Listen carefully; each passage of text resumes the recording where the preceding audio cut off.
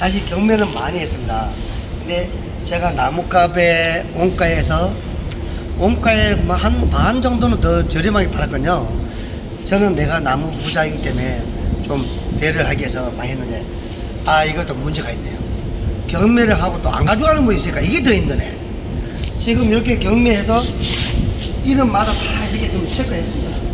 그래서 체크했는데 안 가져가니까네. 우리가 안 가져가니까네. 이제는 경매를 하시면 우리가 토요일 날 9월 28일 날 경매하잖아요. 월 8일 날 토요일입니다. 토요일 날 경매하고 나면 그 다음날 일요일 날 우리가 정리할 거고요.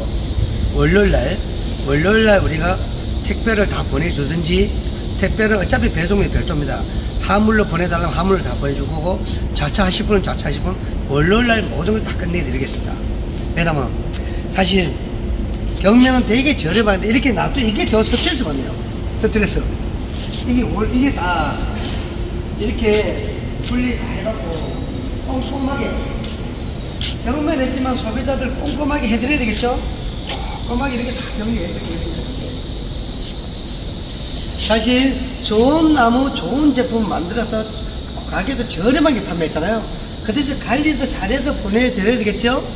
저는 항상 믿을 수 있는 회사가 돼야 된다 봅니다. 그래 하고 있고, 요거는 우리 8월 25일 날 경매했고요.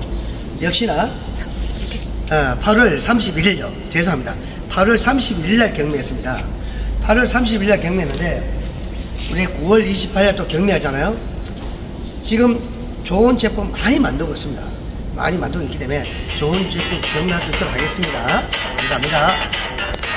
항상 대한복제 유튜브 구독 꾹꾹 부탁합니다.